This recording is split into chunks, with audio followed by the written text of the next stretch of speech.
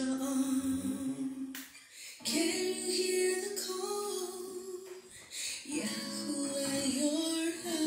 we're going to be starting Mishpachah in about two minutes. And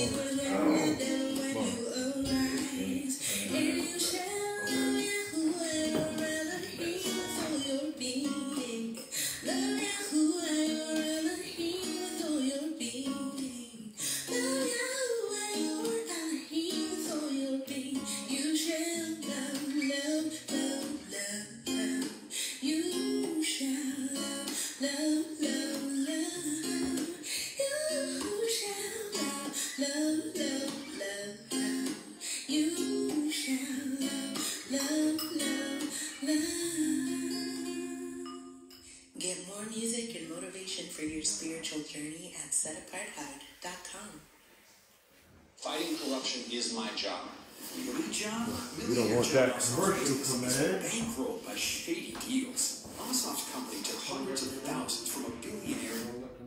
Exactly. Oh. Okay, Mishpachah, we're going to go ahead and get started um, with tonight's service.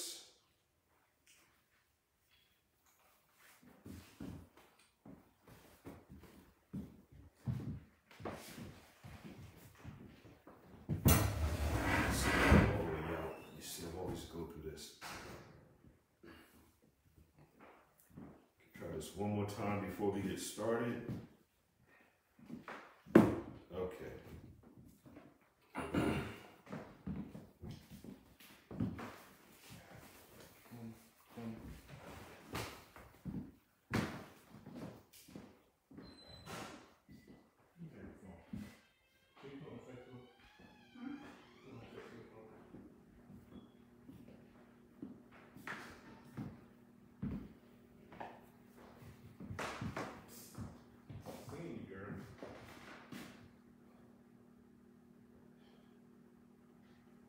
Hallelujah. Everybody's good today?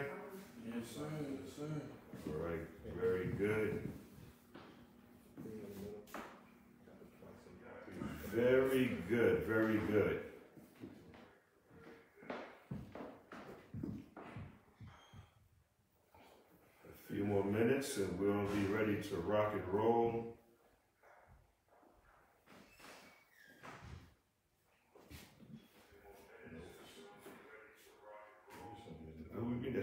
feedback from.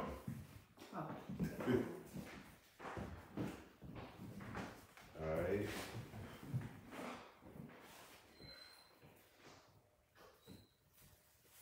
Okay, um, everybody's had a, um, a toe week, not just a regular week. Did everybody have a, a toe old week? I know there's a lot that's going on um, in the world today. We just want to make sure everybody's doing good.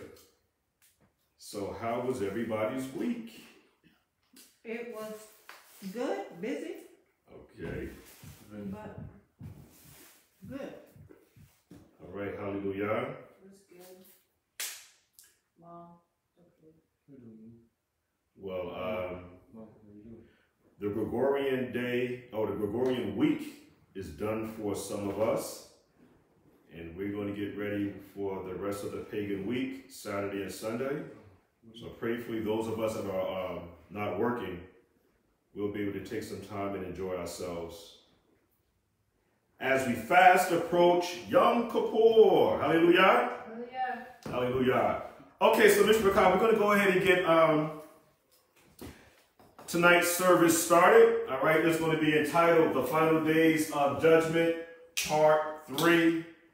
And um, I'm going to try it again blowing um, our executive, Morey Morey Eliyahu's um, shofar. And let's see what kind of good sounds we can get out of this tonight.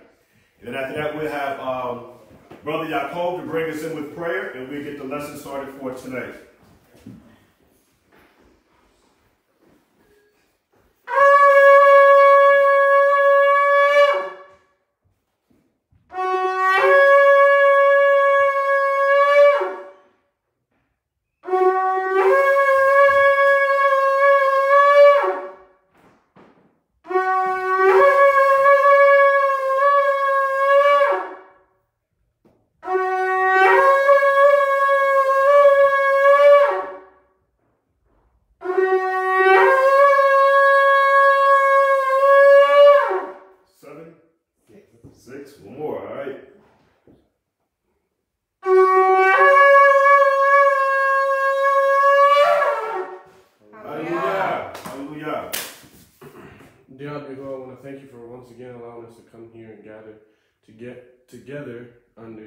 Set apart name. Yes, Father. Um, I pray that we have a wonderful lesson. Um, I just want to pray everybody who's on their way or who is trying to make it. I pray that you baruch them in their travels here and wherever they are they are headed.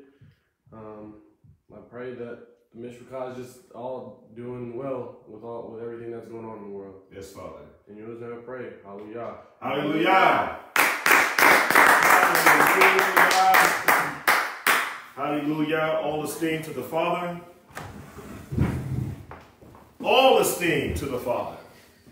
Ab for his love, his mercy, his kindness, and the generosity that he's been showing to his people, the 12 tribes, for 12 tribes, excuse me, of Israel. And like I say all the time, we want to make sure that we are always, always thankful for everything that the Father has been doing for us. We are forever in his mercy. We are forever in his, um, wow. We just have to make sure that we always stay in what they call graces, that we always stay um, in, in right accord with the Father. Because without that, none of us will be able to make it. And we also want to thank the Father for sending his ultimate love gift, Yahushua HaMashiach, all right, who is that atoning sacrifice for the nation of Yashrael. Can I get a hallelujah? Hallelujah. All right, all right. That's how they do it in church. Can I get an amen? So can we get a hallelujah? All right, so we got a hallelujah. Um, again, Mishpachah, the title of today's class is called The Final Days of Judgment. Um, part three, we're living in some real serious times here, and we just want to make sure that everybody is kept abreast of what's going on today. Everybody make sure that they understand the book of Ephesians, the sixth chapter, making sure that we have on the full armor. The full armor is going to be very important. So, what's been going on with my week? Um, I had a very inter- interesting week. I spoke with my good brother um, Samak. Been going over a couple of things, and um, it's like almost like the saga continues. I mean, there's still a whole lot that's going on in Israel, and we still have um, a lot to do, but we don't have a whole lot of time. So I pray that um, everybody's able to get their acts together because we are definitely living in some real serious times here. Um, one of the things that Moray and I had talked about is um, I did a lesson on this for for the longest. Um, I can't see um, for the life of me why it's kind of hard for people to see that from Genesis to Revelation again, the Father's trying to have a relationship with his bride, and that bride is the nation of Israel.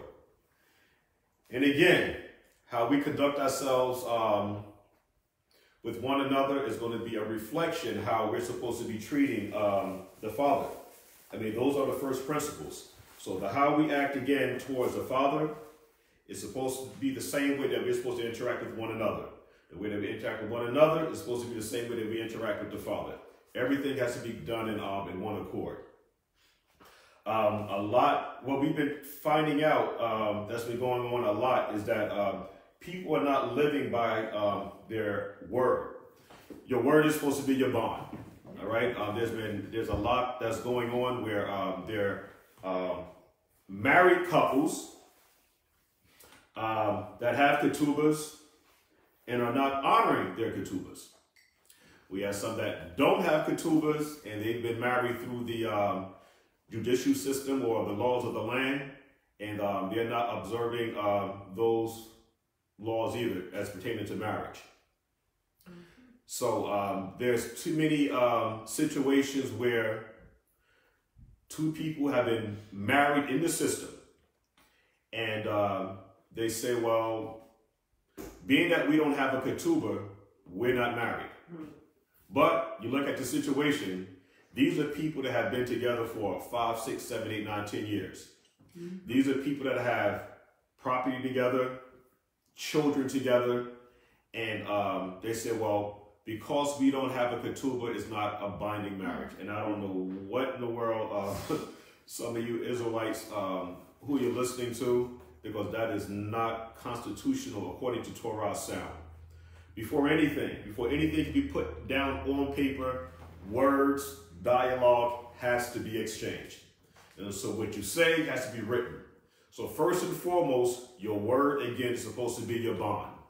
And I just really pray that everybody gets a better understanding of Scripture, understanding um, is that that man is not supposed to disrespect that woman. That woman is not supposed to disrespect that man. Everything is supposed to be done in shalom and in peace and in harmony and, and, and in love. Ahava. All right. So ahava is going to be very important. The word ahava is actually um, love. Echad is one. So there must be that unison in order for the body to function. Without that, or without that, there can be no um, no unity, and there can be no shalom. One of the words I want to talk about today, Mishpachah, um, again, the final days of judgment is the title of today's class, but I just want to touch on something, again, pertaining to marriage. We're talking about the word fornication. Fornication. Is that right? Mm-hmm. Fornication. The Hebrew word for fornication is zanah. All right? Zanah. And what's happening now is that, coming to find out, when we look at true biblical um, definitions, because we're talking about returning to our culture, all right, our land, and we want to be the people of the book. We want to be like the Abraham, the Isaacs, and the Jacobs. These are these are our forefathers. Fornication is illicit sex uh, and a whole lot of other stuff that comes along with it. But the definition that we're going to be sticking uh, with today, the word fornication, the Hebrew word is zanah, and the word in its proper context, according to a relationship, any disobedience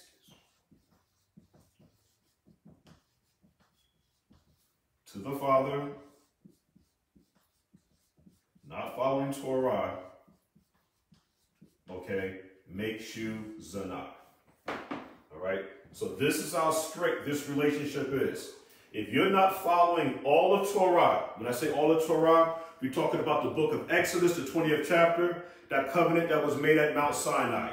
So again, zanah, fornication, the definition that we get according to Hebrew culture is disobedience to the Father. And the way that you're do- disobedient to the Father is that when you're not following Torah. So let's get some examples of this, and we can show in Scripture exactly what's going on. And prayerfully, Israel can correct the problem. All right? We're going to go to the book of um, the Wisdom of Solomon in the Apocrypha, and I'm going to start with verse 12. 14 and 12, the Wisdom of Solomon in the Apocrypha. Wisdom of Solomon, Shalomo, Procopher 12, 14 and 12. Watch this now. Because fornication is also idol worshiping. Uh, what do we have now? Um, for the devising of idols was the beginning of spiritual fornication. That's going to be key. I'm sorry, where did you write your line? Uh, Wisdom of Solomon, the 14th chapter, verse 12. Because there's physical fornication and there's spiritual fornication. So if you to tell a person, listen, you know what? You're a zanah. All right? And so oftentimes a person would say, listen, you know what? I haven't committed adultery. I have not committed any sexual um, immoral acts. But this thing's a lot further or more deeper than um, what they call the Peshat level. What we want to do now is look at the full definition of what is now um, fornication, because what's inside of a person is going to reflect on the um, what the person does on the outside. And so who you are on the inside is going to reflect who you are on the outside. So we're looking for the whole body to be clean. So the devising of idols was the beginning of spiritual fornication. So now we go to the book of Genesis, all right, and we see what happened between Adam and his Isha. Again, the beginning, okay, of fornication now, it was spiritual fornication where you're no longer following Torah. We, we see what's going on here now? So I'm not saying that there was physical intercourse that Eve had with this um, with the adversary, but there was spiritual fornication because she did not follow Torah, and this happened in the very beginning. And the invention of them, the corruption of life. For neither were they from the beginning, okay, which is fornication. For neither were they from the beginning, neither shall they be forever. For by the vain glory of men they were entered into the world, when men wanted to now lean upon their own understanding other than following Torah. Again, the only way that we can be in one accord in shalom is that we have to follow the rules and regulations that was outlined to us in the book of Exodus, the 20th chapter. For neither were they from the beginning, neither shall they be forever. For by the vain glory of men they entered into the world, and therefore shall they come shortly to an end. We're talking about physical uh, fornication and spiritual fornication. For a father afflicted with an untimely mourning, when he had made an image of his child, soon taken away, now honored him as an Elohim, or as it has as a God, which was then a dead man, delivered to those that were under him ceremonies and sacrifices. Verse 16. Thus, in process of time, this is how these idols start now. Thus, in process of time, an unrighteous custom grown strong was kept as a law, and graven images were worshipped by the commandments of tyrants or kings, whom men could not honor in presence because they were because they dwelt far off. They took the counterfeit of his vis- visage from far and made an express image of a king whom they honored, to the end that they, by this um, their foreignness, they might flatter him um, that was absent as if he was present. Also, the singular diligence of the artificer did help to set forward the ignorance to more um, superstition. For he preadventured, willing to please one in authority, forced all skill to make the resemblance of the best fashion. And so the multitude, allured by the grace of the word, took him now for an Elohim, or God. With a little before was but honored as a man. And this was an occasion to deceive the world. To deceive the world.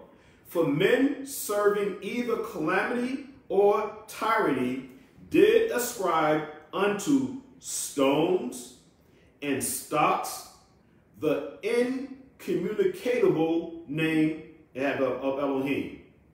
Moreover, this was not enough for them, that they erred in the knowledge of Elohim, but whereas they lived in the great war of ignorance, those so those so great plagues um, called they peace.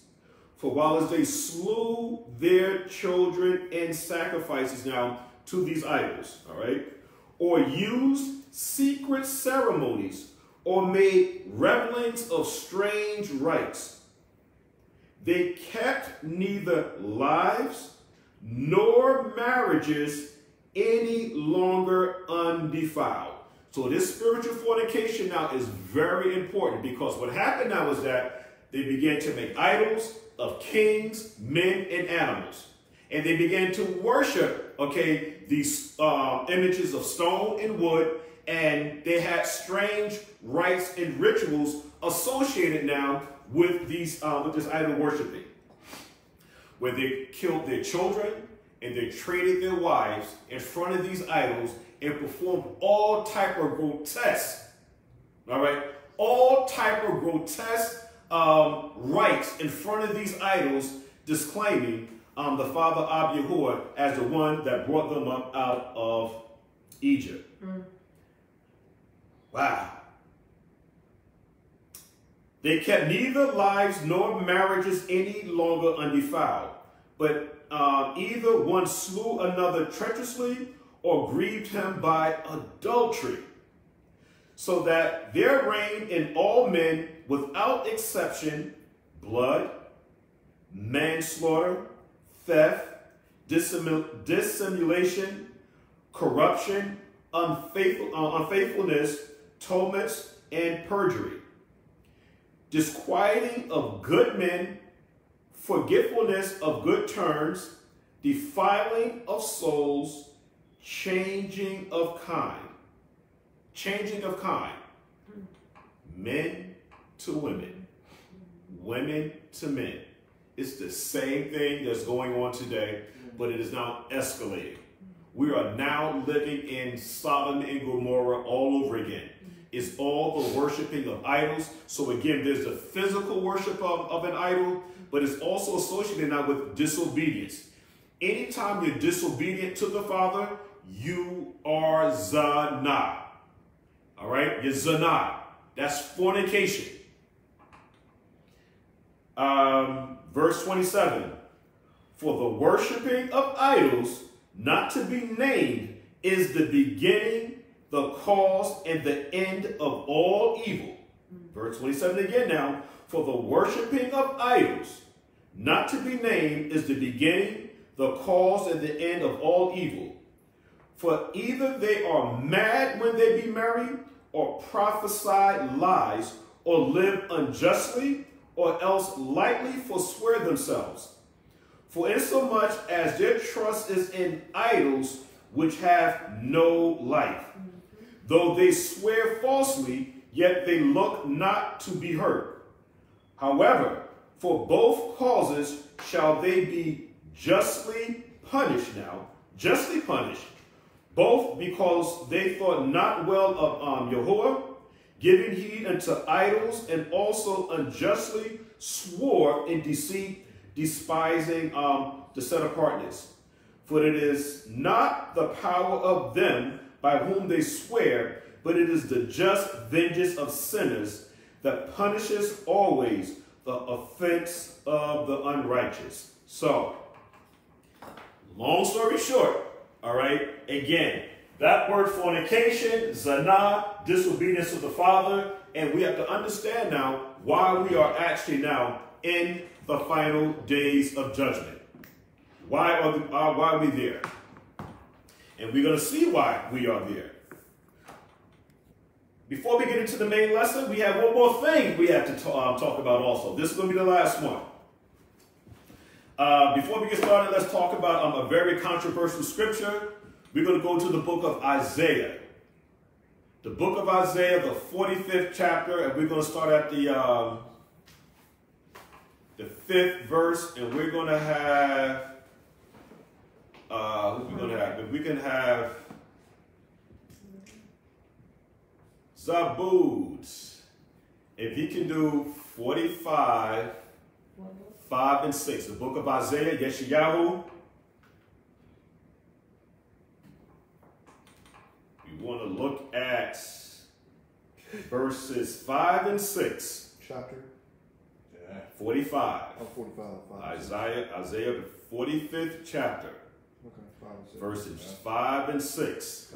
Okay, Isaiah Because there's, yeah, because there's a lot. 46 or 45? 45. 45. 45. verses 5 and 6. Isaiah Five and 45, 5 and 6. And the reason why we're going to bring out this um, particular scripture here is because um, there's a lot of folks that don't believe in the Mashiach. They believe that they can go directly to the Father. They have this um, misconception that the Mashiach can't be proven in the uh, what we call it the Old Testament. It's almost as if uh, people that think like that don't understand prophecy, and prophecies are always reoccurring. All right, they are our examples. But let's see if we can make heads or tails out of this uh, situation. Um, the book of Isaiah 45, 5 and 6. So, my brother Zabud, you're on. Hey, uh, Isaiah 45, 5. I am Yahuwah, and there is none else. There is no Elohim beside me. I girded thee through, I mean, though thou hast not known me, that they may not may know from the rising of the sun and from the west that there is none beside me. I am Yahuwah, and there is none else. Is there anyone else outside of Yahuwah? No. No. Okay, so we have the Yohe Huhe. I am Yahuwah, and there is none else. There is no Elohim beside me. Is there another Elohim beside Yahuwah, the Father? Nope. No. So how do we then explain the Mashiach? The son of the Father. Hmm? The son of the Father. Oh wait.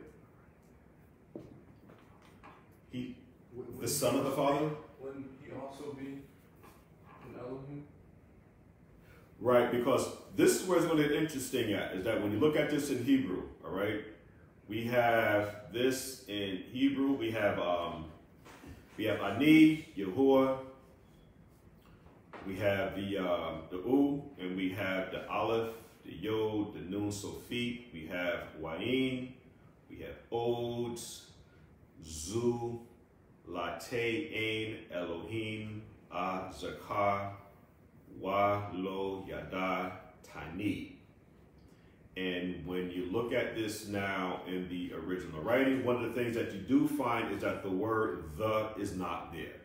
All right?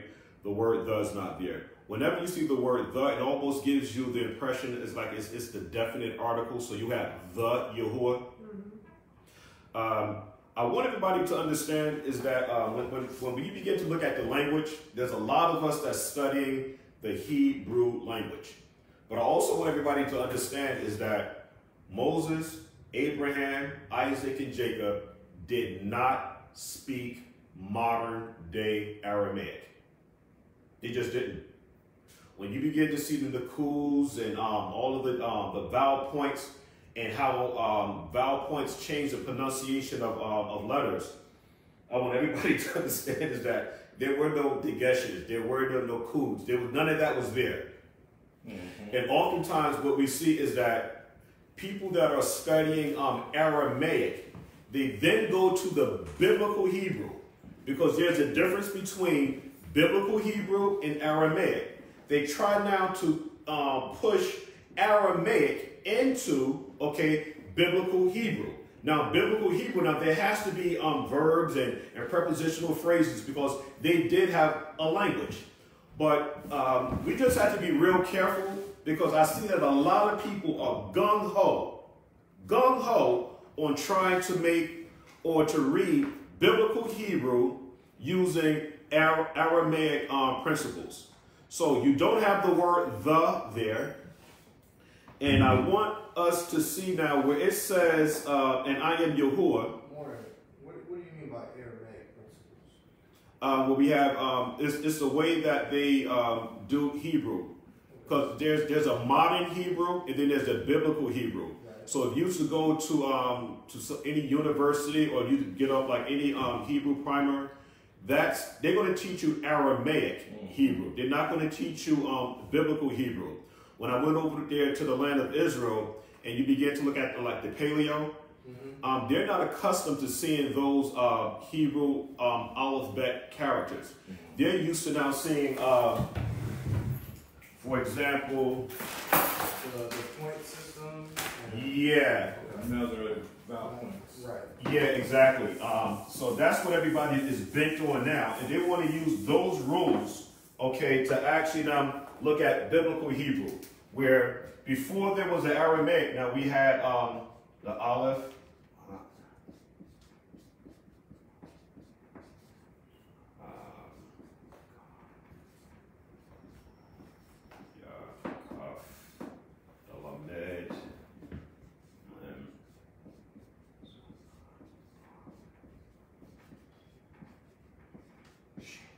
Those are the 22 letters in the, uh, this is biblical, biblical ancient Hebrew.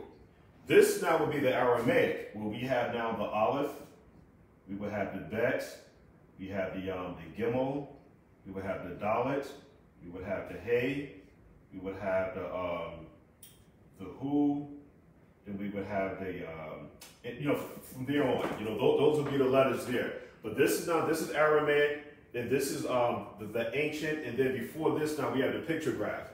And again, my argument now is that a, a lot of times when reading the language, we're using these principles, okay, to try to fit in the way that Abraham, Isaac, and Jacob um, read. All right, and again, there were no um, vowel points and all this other stuff with what they're teaching now in the um, the Aramaic. I don't have a problem with the Aramaic. It's just that I just want to make sure that everybody understand that there is a difference. So I, Yahuwah, and there is none else. There is no Elohim beside me. So a lot of um, people who don't believe in the Mashiach, they're using this to say, listen, you know what? There is nobody else except for the Father. Just the Father. And so the way that man is able to communicate with the Father now is directly to the Father. But then you have this problem going on is that you now have all throughout scripture you have the word Lord of host. And the word for host is Sabah. Then you have the word Yahuwah.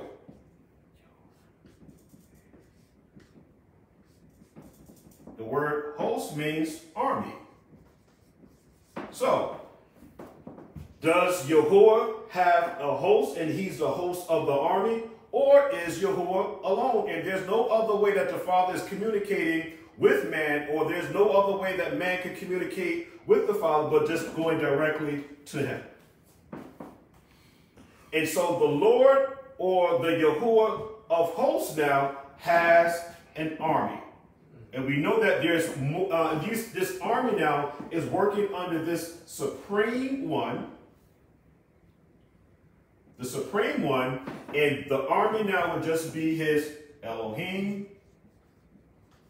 And this is now just the messengers. The Mashiach was the ultimate messenger. And we're going to show some more of this when we begin to look at the scripture here. The word Elohim, okay, the word God is a strong number 430.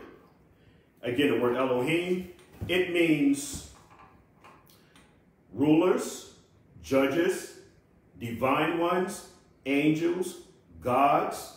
It's plural, intensive, and singular with a singular meaning. God, goddesses, God-like one, works of special possession or God or the true God or Elohim. That's the Brown's Drivers Briggs definition. And then we have the Strong's definition, plural of Strong's number 433, where we have um, Elohims in the ordinary sense, but specifically used in the uh, plural, thus, spe- uh, especially with the article of the Supreme One, um, occasionally applied by the way of difference of magistries and sometimes as a superlative angel. So they're just trying to show that the word is plural. So the way that we will read this now, I am Yahuwah Elohim, and there is no other um, ruler, judge, magistrate um, outside of me. Everything is coming from one source, the Father. Nobody is ever denying the Father.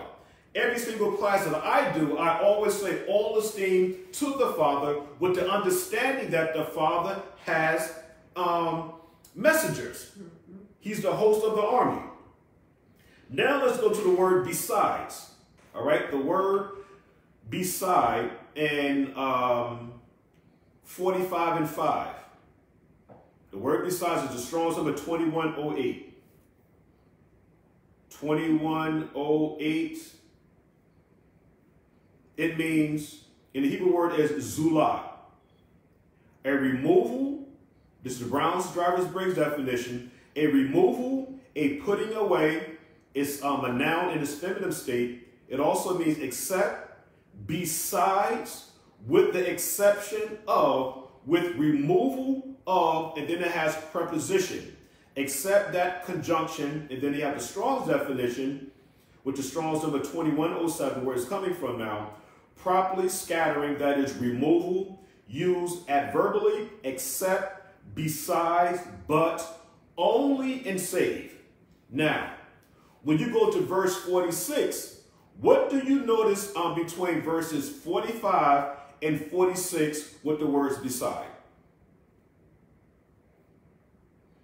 I want to, I, 46 and 47? um, verse 5 and verse 6. Isaiah 45, 5 through 6 is what we read. What do you notice now with the two words beside um, what we have in verses 5 and 6?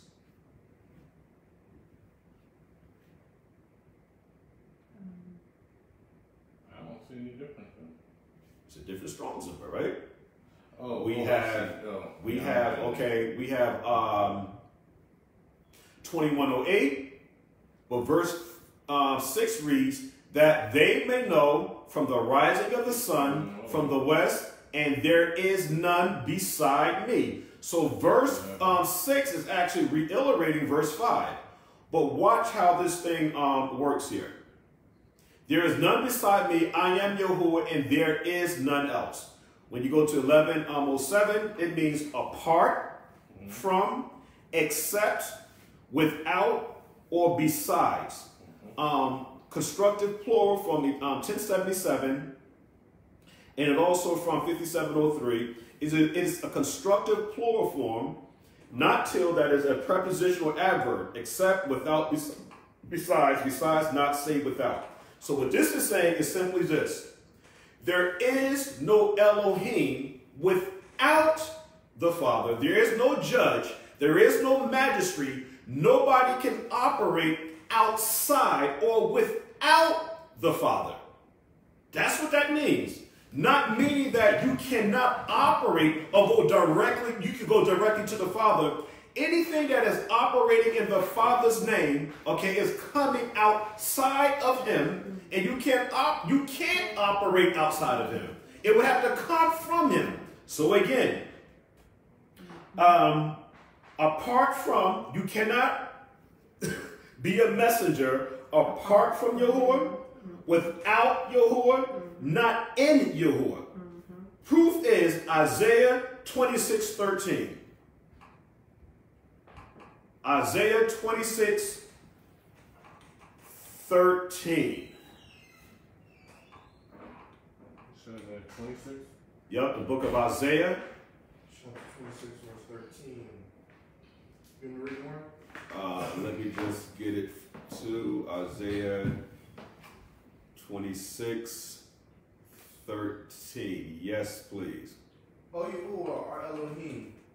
Other lords beside Other lords or other mighty ones beside thee, okay, have had dominion over us, but by these only will we make mention of thy name. okay. By thee only we will make mention of thy name. Exactly. So there are other Elohims. mighty ones. But these now are not operating inside of the Father. Mm-hmm. Israel's responsibility now was to operate inside of the messengers, all right, that is coming from the Father.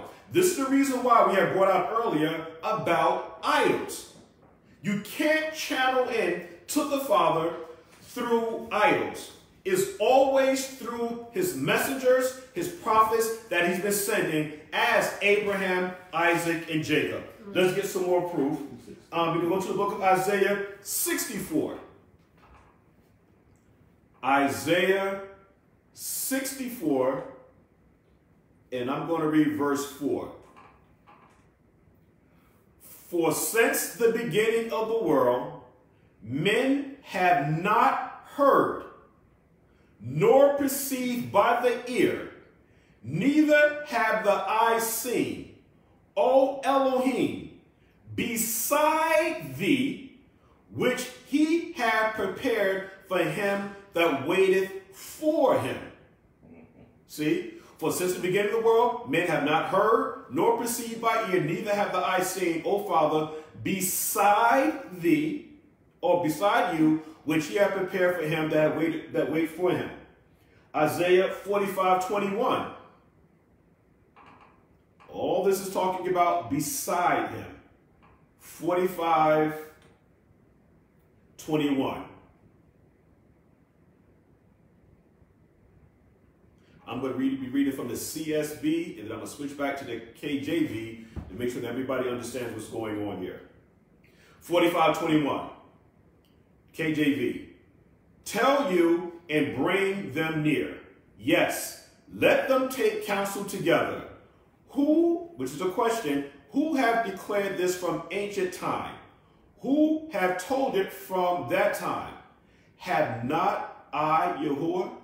And there is no Elohim else beside me. Now watch, now watch the characteristics now. I am a just Elohim and a Savior.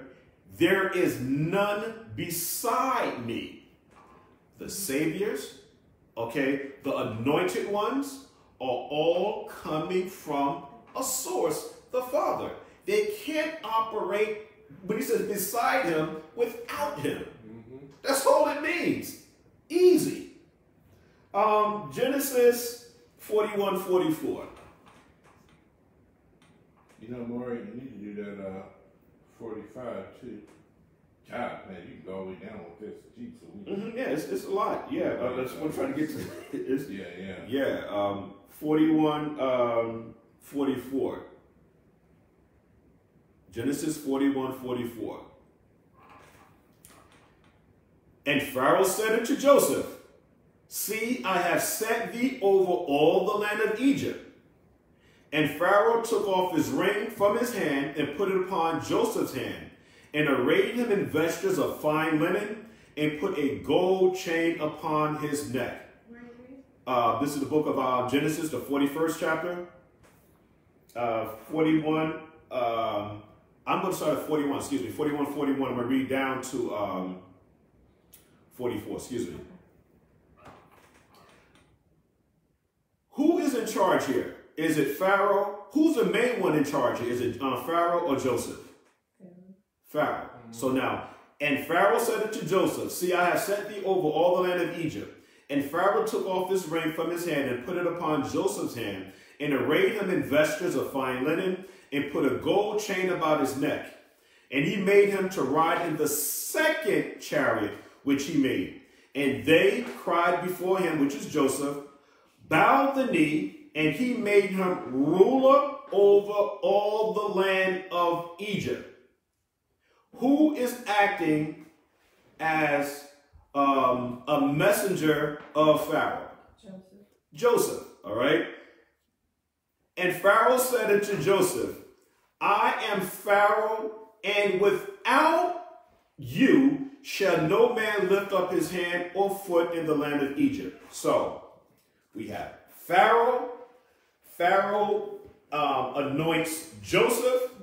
Joseph now is in command, acting on behalf of Pharaoh. So he's working in um, compound or within the confines now of Pharaoh. This is what Joseph is doing. And it's the same thing with the Mashiach. Joseph was anointed, the Mashiach was anointed. Real easy. All right. I'll dive into that a little bit more a little bit later on. Let's go to the book of Ezekiel, the 38th chapter, because there's going to be severe consequences for disobedience. There has to be loyalty inside the house. It just simply has to be. If there's no loyalty, there's going to be major problems, and we don't want no problems, especially um, in these days here, because there's a lot that's going on, and we see at, at some point we're going to have to let go of this Babylonian system. At some point, we see what happened with um, Breonna Taylor, where the police officers they, they went off free. All right, and we have now. They, she was awarded, I think, like twelve million dollars. Mm-hmm. But even the women are under attack. Mm-hmm. The Israelite man's life is of no concern to Amalek, the Khazars, the Edomites, whatever you want to call them. This Babylonian system has no use for the Israelites. Hmm. But the man was charged, okay, with endangerment now because the bullet went through the wall and it almost hit a white woman. Okay? and so now he's been held accountable for endangerment of life, but not for the death of Breonna Taylor. Mm-hmm. That speaks volumes. Yeah. Mm-hmm. Speaks volumes. You're going to be held accountable for endangering a white woman's life. Um, I, I, I really don't get it. Really don't get it. I can't understand for the life of me why, why people aren't understanding the importance of commitment, vows, marriage, kedushim, the, uh, the Nesseline. They have, it's like no idea. But when you look at the festivals, the festivals now are all about marriages. I mean, a marriage. The groom reconciling with the bride. This is what all the festivals are about. They're, they're about, but at some point, uh, praying that everybody would get the, um, the, the understanding of it. But um, we, we'll just see.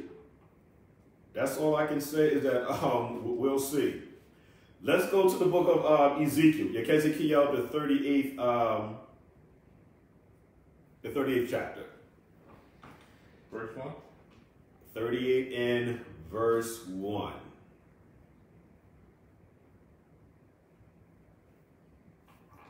Let me read from the CSB, jumping back and forth to the KJV. This is important. And the word of Yahuwah came to me, which is Ezekiel, son of man, um, set thy face against Gog. Anybody remember from the last lesson that we did? Gog came from what group of people? Uh, David. David? No, Jacob. Japheth. Hallelujah. Good job, Tom. Hallelujah. Son of man, set thy face against Japheth or Gog, the land of Magog, of the land of Magog, the chief prince of Meshech and Tubal. This is all talking about um, Japheth. And it says now to prophesy against him and say, Behold, or this is what Yahuwah says, Behold, I am against you, Gog, chief prince of Meshech and Tubal. I will turn you around, put hooks in your jaws, and bring out with all your army, including horses and riders, who are all splendidly dressed or clothed with all sorts of armor, a huge assembly, armed with large and small shields, all of them brandishing swords. Persia. All right? Geography is going to be very important. When we talk about um, Persia, we're talking about from the west. Cush, which are um, Libya, which are the Ethiopians here.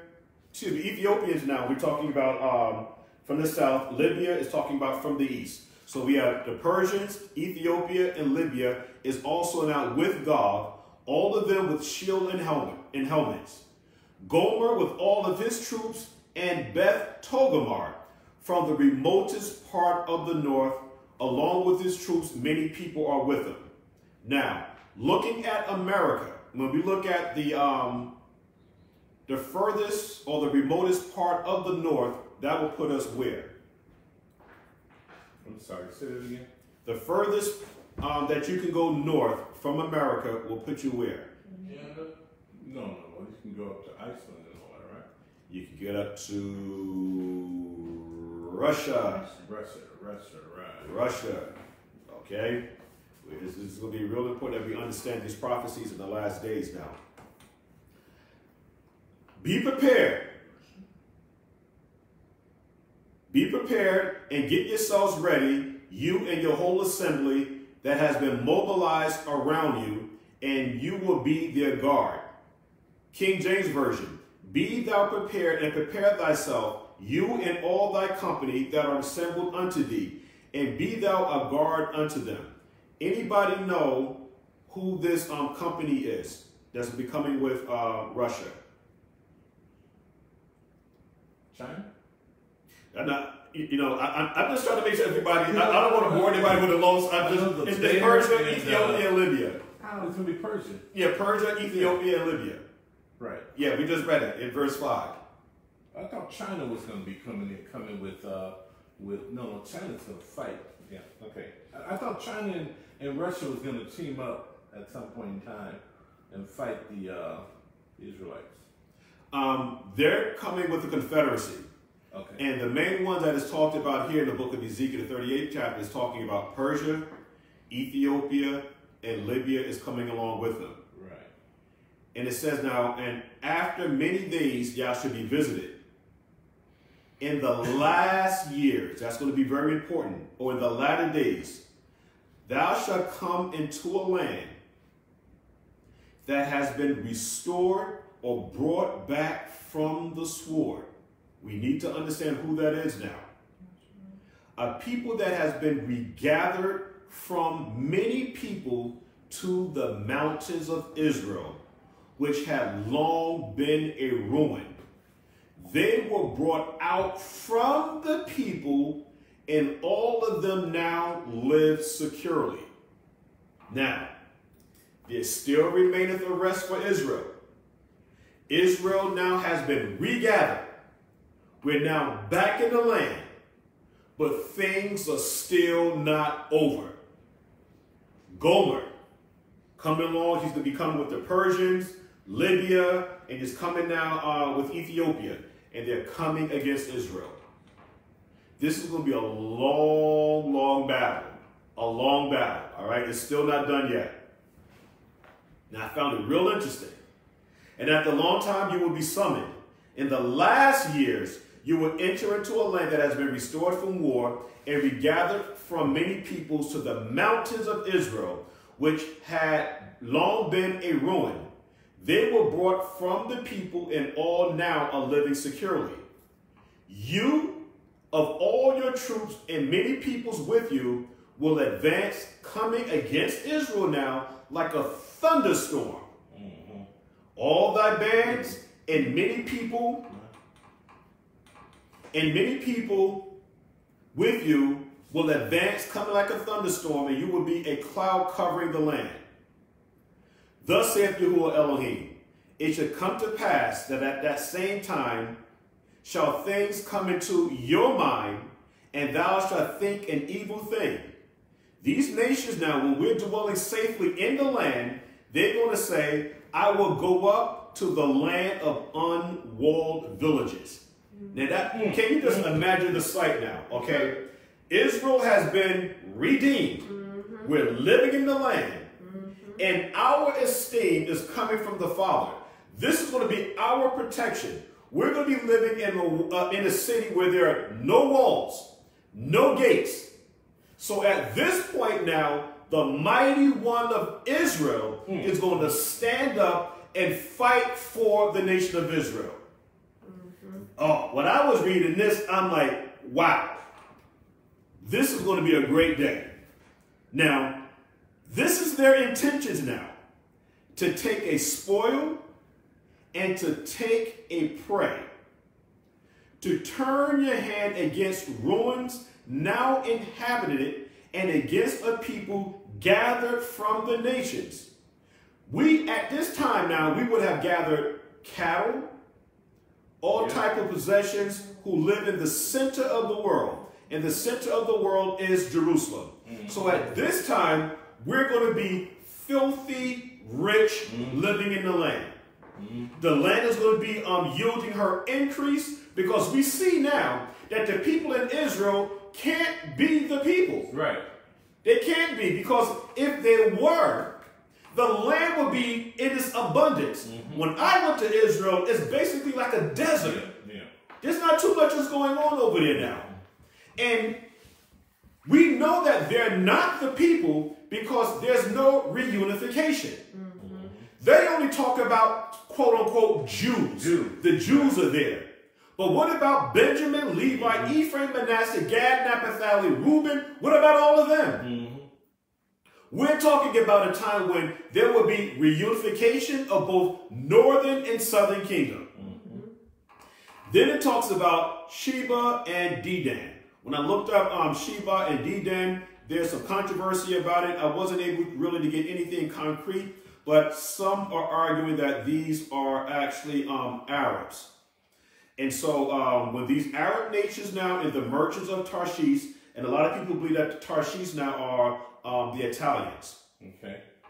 Okay, um, with all of his rulers will ask, have you come to seize a spoil? Have you mobilized your assembly to carry off plunder, to take or to make off with silver and gold, to take cattle in possession, to seize plenty of spoil? They're talking about now are you do you have this now this mindset where you're going to come up against Israel? This is what Sheba, Dedan, and the merchants are and, and of Tarshish is saying. Now, this is what the father steps in. Therefore, Yekezekiel, Ezekiel, son of man, or son of Adam, prophesy and say unto Gog, Thus saith Yahuwah Elohim. Now, when you see it written like this, Yahuwah Elohim, the question is, is Yahuwah the Father? Is Yahuwah the Father of Elohim? Or is Yahuwah Elohim the Mashiach, who we know to be Yahusha, or is he an Elohim? Because an Elohim is a messenger. My argument is that Yahuwah, him, he sends the message. He's mm-hmm. not the actual messenger. Mm-hmm. Okay? Yahuwah Elohim is king of the host. Mm-hmm. That's who he is, which is a totally different status now than Yahuwah. So you have Yahuwah the Father and you have Yahuwah the Son, and we're going to even talk about that. Okay. Therefore, Son of Man, prophesy and say against Gog. Thus saith Yahuwah Elohim, in that day when my people of Israel dwelleth safely, shall you know of it, or shall thou now know it? It shall come from that place of the north part, or the remotest part of the north, and we said now from America now, the uttermost part is Russia, and many people with you who are all riding horses, a huge assembly, a powerful army. And thou shalt come up against my people Israel as a cloud to cover the land. It shall be in the latter days. And I will bring thee against my land, that the heathen may know when I shall be sanctified in you, O Gog, in their eyes. Let's show here some prophecy. Verse 17 is very important. Thus saith Yahuwah Elohim, are thou or are you he of whom I have spoken in old times by my servants the prophets of Israel, which prophesied in those days many years that I would bring thee against them. So this prophecy okay, that is talked about where he's going to destroy Gog was talked about by other prophets. And the reason why we say that prophecies are reoccurring, because every time Israel went to war, the Father would give commands to utterly destroy the people. But what we would do, listen, you know what? That's my friend. I love him, and I have to save him alive. Without understanding, if you don't kill your enemy, the sons and the daughters will grow up, muster up an army, and kill you. And for some strange reason, we don't get it. It's hard, Morris. And listen. I definitely understand what you're saying. Uh, we, it's, it's gonna be hard because Yeah. You know who we are. But at the end of the day, give me my sword, Listen, clean house, our neighborhood, our city, whatever. Solomon, Yes, sir. one of the, uh, yeah, slow. yes, um, one of the wisest men uh, at that time said there's a time and a season for everything. For everything, yes. yes. Time and a season. Yes. There's a time to love, and there's a time to hate, Mhm. there's a time to make war, Yes. and there's a time for peace. Yes. We're at the last stage of it. We've tried everything. When we tried the nonviolent um, marches, they didn't work. They still shot Martin Luther King. Yeah. So there's no other way of getting around this. You have those of us that are Israel, but not of Israel. Meaning now is that you're going to have to be careful of every single body. Yeah. Everybody. So, with that said, let's see now some of these prophets that spoke out against Gog in this assembly coming against Israel. If we can get um, our good brother Yaakov, the book of Psalms, the book of Psalms, the second chapter, verses 1 through 4. Let's see how we can put all of this in this Torah perspective. Psalms, the second chapter, verse 1. Why do the heathen rage hmm and the people imagine a vain thing? A vain thing, because in the last days, Gog, okay, Libya, the Ethiopians, and the Persians now, they'd be coming up against Israel. So they're going to imagine now this vain thing. The kings of the earth set themselves, and the rulers take counsel together against Yahuwah I, said, watch this now, against Yahuwah. Go ahead. and against his anointed. So that word and is a conjunction. So if we're talking about Yahuwah, who would then be the anointed? Because the word anointed means Mashiach.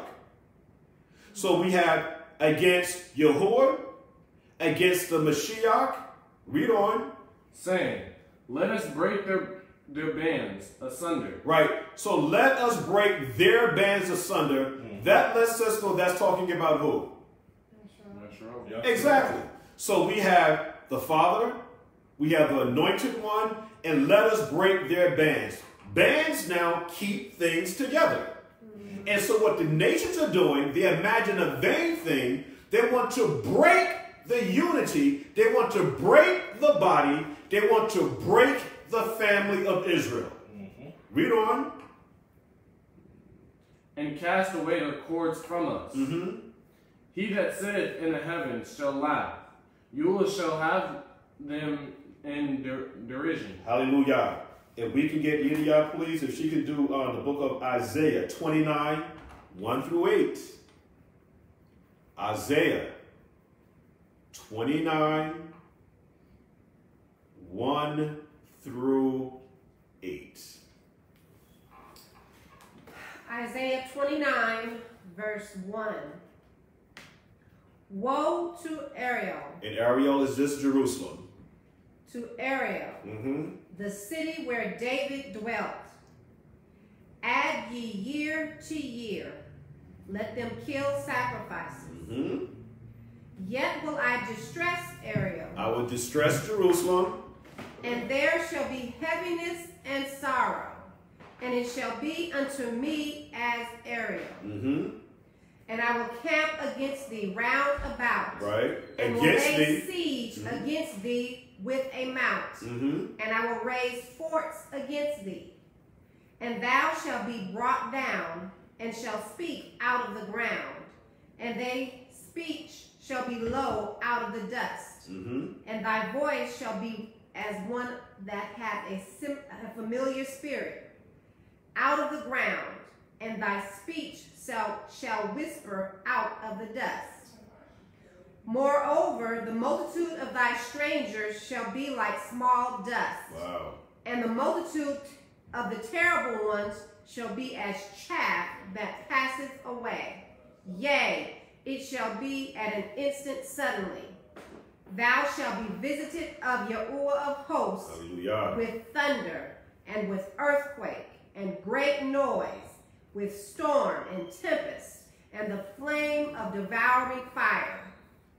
And the multitude of all the nations that fight against Ariel, Mm-hmm. even all that fight against her and her munition, and that distress her, shall be as a dream of a night vision. Wow. So let's look at the vision here. It shall even be as when an hungry man dreameth, and behold, he eateth, but he awaketh, and his soul is empty. Or as when a thirsty man dreameth, and behold, he drinketh, but he awaketh, and behold, he is faint, and his soul hath appetite. So shall the multitude of all the nations be that fight against Mount Zion. Hallelujah. Hallelujah. So the thing that comes to mind with the other nations when they come against Israel, it is not going to come to pass. It's going to be as a man when he falls asleep, he's eating this big luscious meal or drinking this uh, this big lavish drink. But when he wakes up, he's still hungry. When he wakes up, he's still thirsty. Mm-hmm. It is not going to come to pass. The Father will defend the nation of Israel.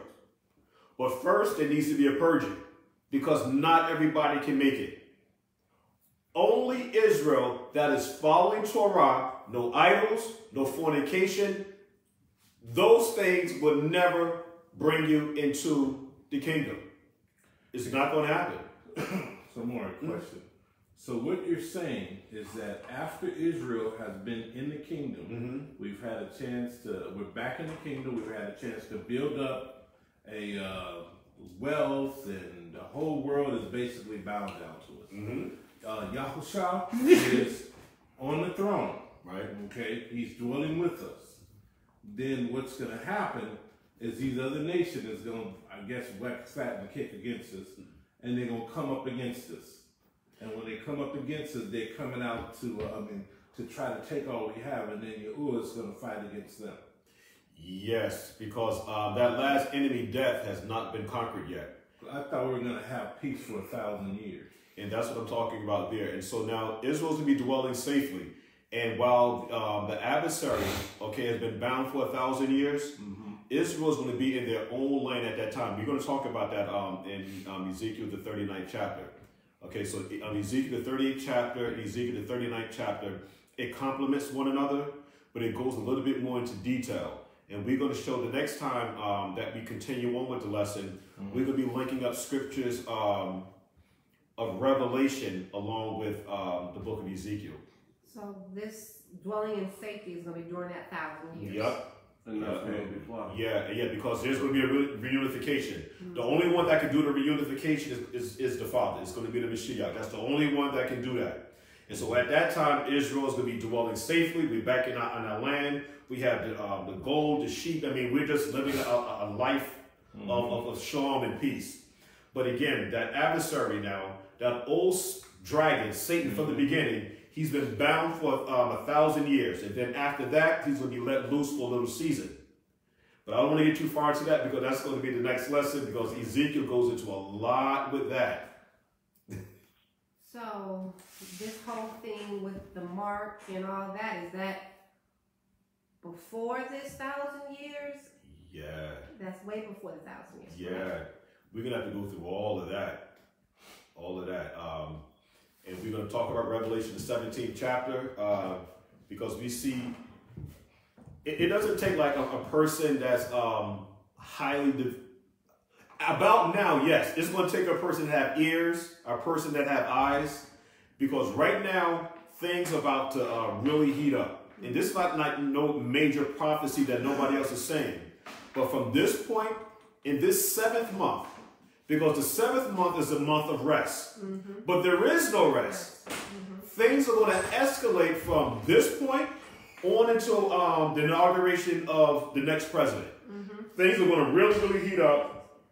People are asking, is um, COVID now the mark of the beast? I was asked that. I said, listen, it shows all the signs of the mark of the beast. But I can never tell anybody that this is definitely now the mark of the beast.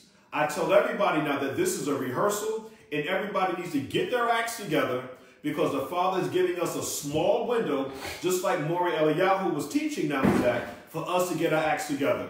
Whatever it is that you need to save, whatever it is that you need to do, there's a small window of opportunity because the adversary is doing a trial run on how the people are, um, are reacting now with what they're doing so far. So, um, yeah, that, that was the whole thing, and um, I, I really needed to look at that um, again. It was taught that once we're in the land, that everything is good. Um, there's going to be no more wars, and everything's going to be good. But I will say this: after everything is said and done, when we talk about peace and shalom, there will be peace and shalom because, for example, there was peace and shalom when Solomon was reigning. Mm-hmm. Israel didn't go to war during no times with King Solomon, mm-hmm. but there were still other nations around them. They wanted to go to war, but the Father now, um, based upon Solomon's name, it also means peace, and he gave them peace. Mm-hmm. But after that, Solomon died, the kingdom got, you know, it, it was written to with Rehoboam and Jeroboam. But I just say that to say is that there's patterns in scripture where we're going to see now when we go ahead with um, Ezekiel, the 39th chapter, is that there's going to be a nation that's going to come up against Israel after they have been reunified and they're back in the land. Okay, and we just want to show some things here um, in scripture to prove all of this. So we, we was at, um, you did 29, 1 to 8. We're going to have Taharia, please. And she can do 2 and 20. That's, that's going to be okay for you? You sure? Isaiah 2 and 20? Uh-huh. Joel, excuse me. Joel. Joel. Joel.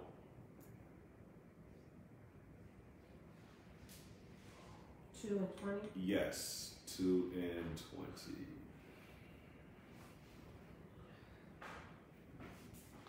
Soft baby voice. Joel 2 and 20.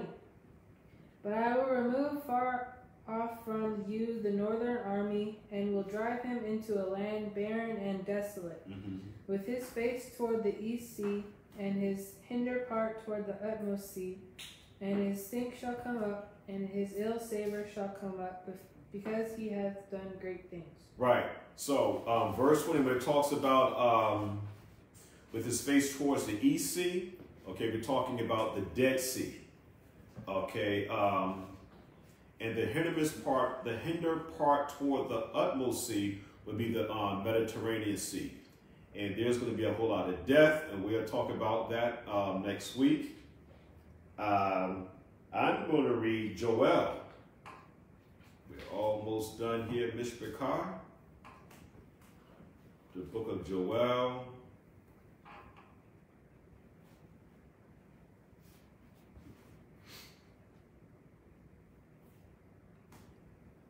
One second here.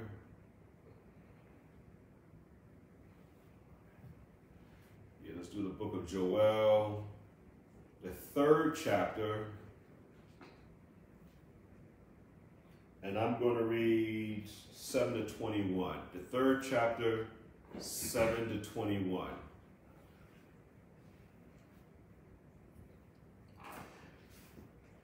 Let me read verse 6. The children also of Yehuda and the children of Jerusalem have you sold to who? The. The Grecians, that you might remove them far from their border. Border just means their homeland. Behold, I will raise them out of the place whether you have sold them, and will return your recompense upon your own head. And I will sell your sons and your daughters into the children of who? Yehuda. Yehuda. And they should sell them to who? Sabeans. All right, to a people far off, for Yahuwah have spoken it. Um, read down to 21. Proclaim you this among the Gentiles. Prepare war, wake up the mighty men, let all the men of war draw near, let them come up. Watch at this time now. Beat your plowshares into swords, okay? And pruning hooks into spears. Let the weak say, I am strong. Assemble yourselves and come, all you heathen, and gather together, or gather yourselves together round about. Cause thy mighty ones to come down, O Yahuwah. Let the heathens be awakened and come up to the valley of Jehoshaphat, the valley of decision. For there will I sit to judge all the heathens round about. Put in the sickle, for the harvest is ripe. Come, get you down, for the press is full, the fats overflow, for the wickedness is great. Multitudes and multitudes in the valley of Jehoshaphat, or the valley of decision, for the day of Yahuwah is near in the valley of decision. At this time, it says that the sun and the moon shall be darkened, and the stars shall withdraw their shining. Yahuwah also shall roar out of Zion, and utter his voice from Jerusalem, and the heavens and the earth shall shake, but Yahuwah will be the hope of his people, and the strength of Yasrael. You shall know that I am Yahuwah, your Elohim, dwelling in Zion, my set apart mountain. Then shall Jerusalem, then shall Jerusalem, just get this one more, hold on. Then shall Jerusalem, what verse we stopped at? 17. 17. You shall know that I am Yahuwah, your Elohim, dwelling in Zion, my set apart mountain. Then shall Jerusalem be holy there, and there shall no strangers pass through her anymore. It shall come to pass in that day that the mountains shall drop down new wine, and the hills shall flow with milk, and all the rivers of Yehuda shall flow with waters, and a fountain shall come forth of the house of Yahuwah, and shall water the valley of uh, Shittim. Misraim, Misraim, which is Egypt, shall be a desolation, and Aduom, Edom, shall be a desolate wilderness. And the vi- because now for the violence against the children of um, Yehuda, because they have shed innocent blood in their land, and Yehuda shall dwell shall dwell forever, in Jerusalem from generation to generation. For I will cleanse their blood that I have not cleansed, for Yahuwah dwelleth in Zion. Hallelujah. Hallelujah. Two more scriptures, Bishop McCall. Let's go to Zechariah 12 and 1. If we can have um, our brother James, if he can read that, Yaakov, if you can do that one for me. Zechariah what? Um, Zechariah 12 and 1. And I'll do Zechariah 12, 2 to 3. Zechariah 12 and 1. The burden of the word of Yahuwah. For Yashra'al saith, saith Yahuwah, which strength, which stretcheth forth the heavens, and layeth the foundation of the earth, and formeth the spirit of man within within him. Okay, hallelujah. And let's bring it home with this one right here, the book of um, Zechariah, the 14th chapter. We're just going to read verses 1 to 3, or 1 to 3. Behold, the day of Yahuwah cometh, and the spoil shall be divided in the midst of thee. For I will gather all nations against Jerusalem to battle, and the city shall be taken, and the houses raffled, and the women ravished, and half of the city shall go forth into captivity, and the residue of the people shall not be cut off from the city. Then shall Yahuwah go forth and fight against those nations as when he fought in the day of, um, of battle. So, Mishpachah, we're going to, um, let me just read the rest of Zechariah so that when we pick up next week, we can go ahead and get into the meat of it because Zechariah, I mean, because Ezekiel now has a lot to say about what's going to be happening now in these end times. Verse 18. And it shall come to pass in that same uh, time when Gog shall come against the land of Israel, saith Yahuwah, that my, 18, excuse me, 18. Verse 18? Yes. 18? Mm-hmm. 38, 18. Okay. 38, 18. Yes, uh-huh. Be back into Zechariah. We're going to finish it up. 38, You mean Isaiah? No, Ezekiel. Ezekiel. Oh, Ezekiel. Uh, excuse me, Ezekiel 38, 18. I'm sorry. My fault. Ezekiel, Ezekiel 38, 18. It shall come to pass at that same time, important now, same time is the key word, when Gog shall come against the land of Israel, saith Yahuwah Elohim, that my fury should come up in my face. For I am jealous, and in fire, and in the fire of my wrath have I spoken. Surely in that day there shall be a great shaking in the land of Israel, so that the fish of the sea, and the fowls of the heaven, and the beasts of the field, and all creeping things that creepeth upon the earth, and all men that are upon the face of the earth shall shake at Yahuwah's presence. Wow. Mm. And the mountains shall be thrown down, and the steep places shall fall, and every wall shall fall to the ground. And I will call for a sword against him throughout all my mountains, saith Yahuwah, Elohim.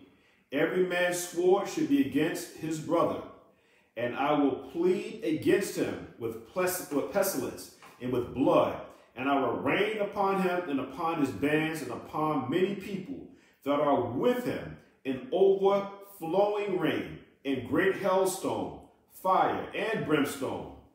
Thus will I magnify myself and sanctify myself, and I will be known in the eyes of many nations, and they shall know that I am Yahuwah. Hallelujah. Yeah. Yeah, uh, and again, the only reason why I wanted to bring this up is that I just want everybody to be mindful um, of what's going on. It's important for us to understand that he that endureth unto the end shall be saved. And um, this is going to be a long battle, and I just want everybody to be as prepared as possible. Don't give up. Don't give up. Please never, never, never give up. All right, because there is a reward at the end of the uh, the rainbow here. So let's keep moving. And when I say we, we're not talking about the LBG, okay, you know, we're talking about the promised covenant of the rainbow. All right, so uh, we're gonna make sure that we keep hold to that. Are there any questions? And um, I know there's a whole lot about that um, that 1,000 year um, millennium reign, but we will definitely tackle that the following week. Okay, if there's nothing else, I don't see anything here online pertaining to um, today's topic. I don't see any um, questions here. Okay, what is that? Uh, did you get a notification that somebody asked a question? Did you see anything? Okay. Different meaning. Okay, so with that, Mishpachah, I'm going to blow the shofar seven times, and we'll have um, the firstborn of Zabud and Gideon to close us out with prayer.